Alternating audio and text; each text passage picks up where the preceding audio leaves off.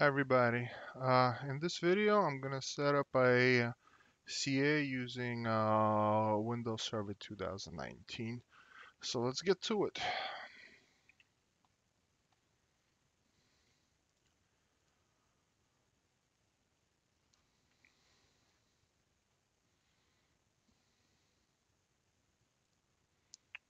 Gonna log into our server.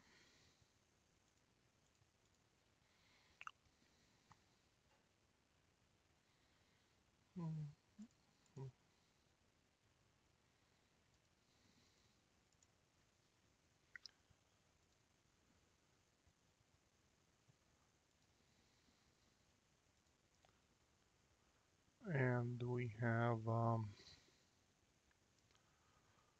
the server we've been working on.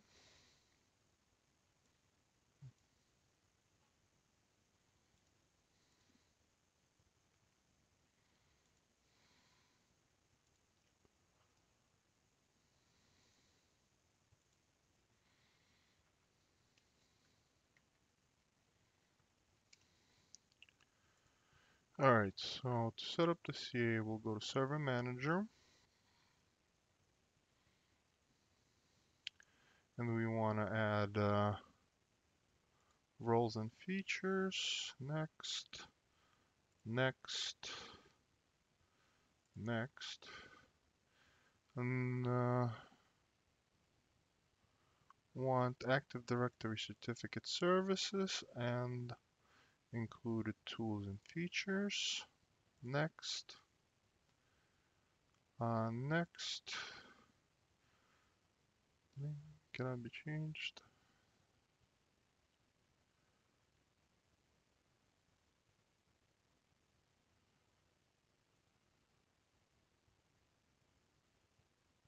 Okay, so we're good with that.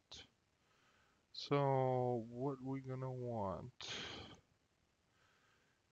Uh, certificate authority, of course, and uh, enrollment policy, add that stuff. Certificate enrollment web service and web enrollment. Network device enrollment and uh, online responding verification checking data accessible to clients and complex network environment. Okay, we're just gonna use these and we don't need the other two. And uh, it's gonna install uh, IIS as well. So, I mean, everything that we're gonna need for this is already there. So we'll just click next. We will install.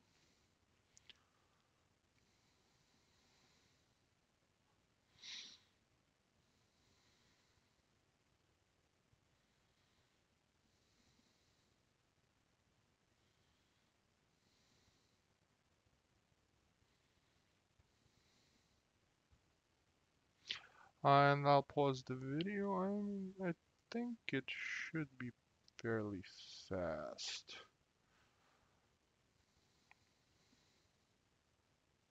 Yeah, it's fast though.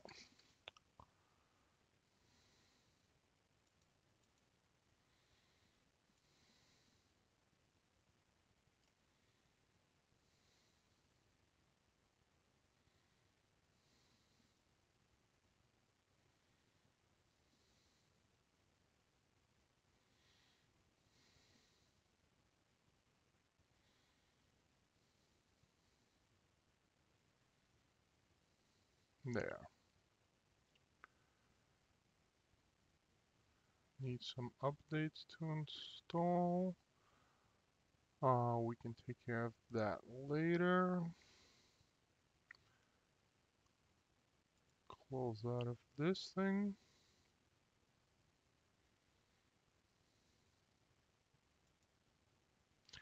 And we can go to here and configure. So uh, we will be specify credentials. So we'll use this account. This is our enterprise admin account. And we're going to configure these.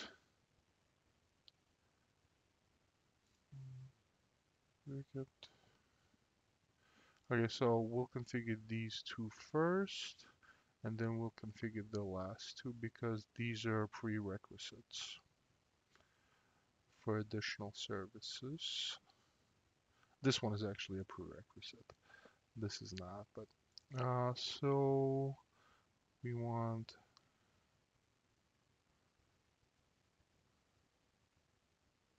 we'd like to use this as an enterprise CA for this particular case and this is going to be a root CA not a subordinate because well we don't have any other CA so that's our root it's going to be an online root since this is just a small lab environment so we don't need to make uh, subordinates we don't need to make a hierarchy in this particular case. So create a new private key and we have quick drive Microsoft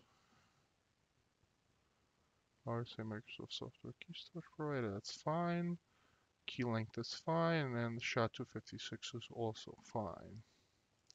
What do we name our CA? This is fine. Yeah, I'll just leave it as that. Validity period, let's make it hmm, 10 years. That should be more than enough. Um, next certificate database we can leave as default. And uh, let's configure. Close and then it will ask do you want to uh, configure additional roles? Yes we do. This is uh, the user we're going to be configuring as so we're going to configure these two. And uh, we'll use specify CFO uh, select certificate authority that you want issuing certificate requested okay this is fine. We can leave this as default.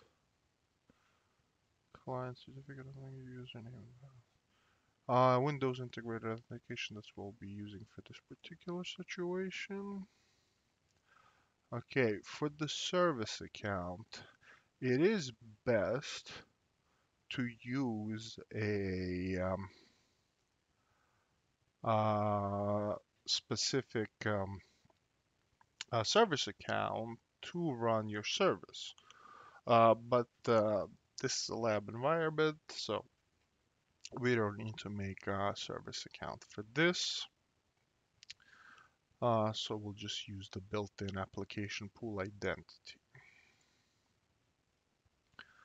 Uh, Windows Authenticate, integrated authentication is fine.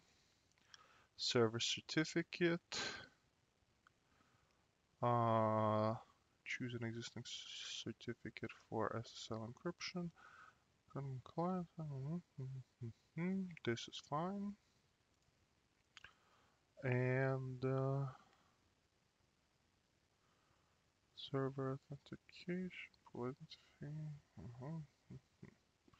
let's configure that. And it is successful so we can close. And uh, that's pretty much it